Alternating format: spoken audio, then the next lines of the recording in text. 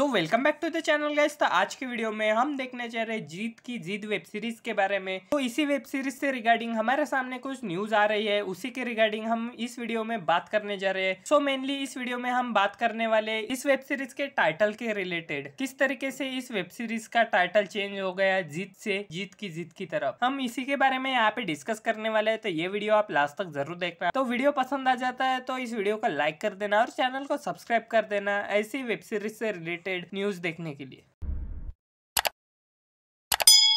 तो जीत की जीत ये वेब सीरीज़ हमें दीपायु के ऊपर 22 जनवरी 2021 को देखने को मिल जाने वाली है, जिसको डायरेक्ट किया है विशाल मांगोलकर ने और प्रोड्यूस किया है अरुण जॉय सिंह गुप्ता और बोनी कपूर ने मिलकर। तो इनिशियली जब इस वेब सीरीज़ की अनाउंसमेंट हुई थी, उसका जो टाइटल था वो था जीत। और जीत जो है वो हमारे सामने उभर कर आया है अभी कुछ महीनों पहले ट्वेंटी अक्टूबर ट्वेंटी को। और जीत ये जो ब्रांड है, जिन्होंने एक्वायर किया है, उनका नाम है प्रकाश वेद पाठक ये one of the biggest YouTuber में से एक हमें देखने को मिल जाते हैं। इनका जो लाइफस्टाइल व्लॉगिंग है और जो टेक्निकल रिलेटेड जो कंटेंट है, वो बहुत ही ज़्यादा फ़ेमस है। और साथ ही साथ ये इन्वेस्टमेंट रिलेटेड भी हमारे सामने बहुत सारे टिप्स और ट्रिक्स हमें शेयर करते रहते हैं उनके इंस्टाग्राम हैंडल पर। जैसे की जी दिए नाम एक इंटेलेक्चुअल प्रॉपर्टी होने के कारण, वो नाम हम किसी भी सिचुएशन में यूज़ नहीं कर सकते। और उनके साथ ऐसी बहुत सारी नाइंसाफियाँ अब तक होती रही है। इसीलिए प्रकाश वेद पाठक ने फ़र्स्ट टाइम ऐसा लीगल नोटिस देकर वो पूरा नाम ही चेंज करवा दिया। और इसकी कंफर्मेशन उन्होंने खुद अपने वीडियो में दी है और उन्होंने इसकी कंफर्मेशन खुद अपने वीडियो में दी है, जिसकी लिंक मैंने डिस्क्रिप्शन में दे रखी है। सो दोस्तों, इसी की वजह से हमें जीत जो वेब सीरीज़ है, उसका नाम चेंज होकर जीत की जीत, ऐसा यहाँ पे हमें देखने को मिल रहा है। और ये बहुत ही अच्छी बात है की एक जो नॉर्मल इंसान होता है, उन्होंने एक कंपनी को पूरा हिला के रख दिया और उनको टाइटल चेंज करने के लिए मजबूर कर दिया सो दोस्तों, आज की वीडियो में बस इतना ही। अगर ये वीडियो आपको पसंद आ गया, ज़रूर इसका लाइक कर देना और चैनल को सब्सक्राइब कर देना। ऐसे वेब सीरीज़ और वेब मूवीज़ से रिलेटेड गॉसिप्स के लिए और उनके टॉप टेन काउंटडाउन्स के लिए।